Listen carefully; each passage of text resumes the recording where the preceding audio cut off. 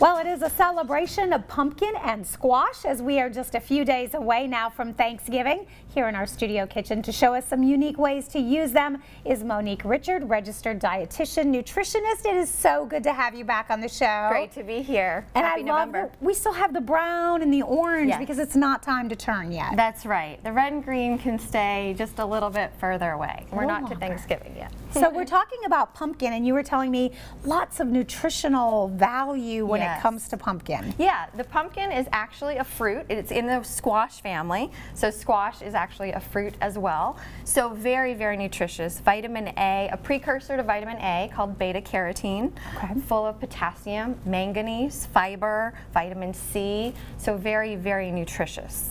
Now, I don't know how to use it in that form, Yeah. but I am very aware of pumpkin in a can. Yes, exactly. we were talking about waste. So unfortunately, we in this country we grow 1.6 billion pounds of pumpkin, but about 1.1 billion is thrown in the landfill. Oh. So I highly encourage us to cut down on food waste if you can uh-huh. and use this because actually this whole thing is edible including the stem and the skin and of course the seeds.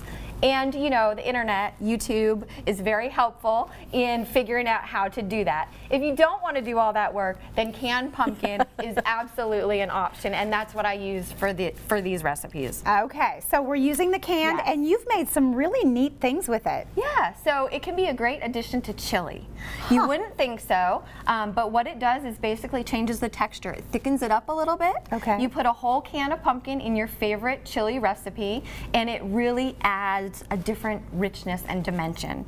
And if you want even more nutrition, add a little cocoa. You get additional flavonoids, and you get that richness, and then you can spice it up with the cayenne or chili pepper, and it complements each other very well. So you just took your normal chili recipe, Yep. whatever that may be, Yep. and dumped in that can of pumpkin Exactly, puree. exactly. I did it in a crock pot. I make a vegetarian chili, so I use a textured vegetable protein, but you can use the ground turkey, ground meat, leave out the meat, whatever. Um, a bunch of different beans, my, uh, my spices, cumin, um, what else did I do? Cayenne pepper, and then again the pumpkin puree, and it just adds this beautiful thickness. Okay. Yeah. I'm going to try that. Yeah. That does sound fun. But make sure it is 100% pumpkin puree and not the pumpkin pie filling. You don't want the sweetness. Yeah, you will notice the difference. Yes. Mhm, I always remember that too, even when you're making your pie. Exactly. It's not the same. Exactly. I found that out the hard way. Did Yeah. you? Yeah.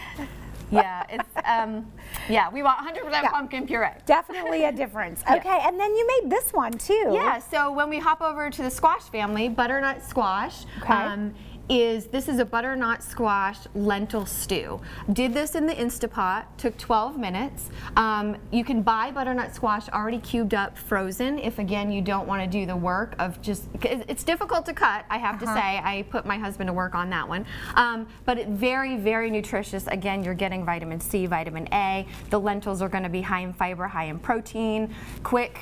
Um, dinner family Yeah. Thanksgiving option if you want. So very, very beneficial. And I do love butternut squash, and I see you have acorn squash over there, also delicious. Exactly. And- Lots of soups, right? We're going into soup season. So stews, chilies, soups, casseroles. Again, this can change the texture of a recipe if you don't want the flavor necessarily. Um, it's a really good addition. Oh, I love it. Yeah. All right, and then we're jumping over to dessert, and we're going Yes. back to our friend the pumpkin. Yes, exactly. pumpkin mousse. Four ingredients. Okay. Pu- pureed pumpkin, silken tofu, so get the soft tofu. Okay. Make sure to drain the water out.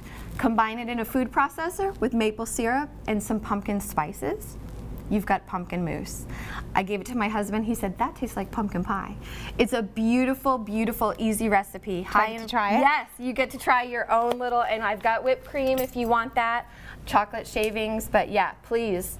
So, and you use tofu in this because I'm Yes. sure a lot of viewers, when you said that, but that adds so much protein. I so much imagine. protein and again tofu is similar to pumpkin in that it doesn't have a lot of flavor itself so don't be scared of it um, it's just really going to impact the flavor of the pumpkin and the pumpkin spice It's delicious. yeah It's really, really good. And you can always do it in those little tartlets with the graham cracker. Yeah. You could put some graham cracker crumbles on top, some Nilla wafers. Um, there's so much, you, you could put this in a pumpkin pie um, pie shell if you wanted Okay. to. You could freeze it. Um, there's so many things you can do with it, but so simple and so nutritious and delicious. And it does. It it's so creamy. Good. I love the texture. Yes, yes. Okay, and you're going to share these recipes with us. Yes. We're going to post them on our website coming up later today. Also, you can check out her website, eatrightrx.com, for more information. Happy Thanksgiving. Happy Monique. Thanksgiving. Healthy and happy to everyone.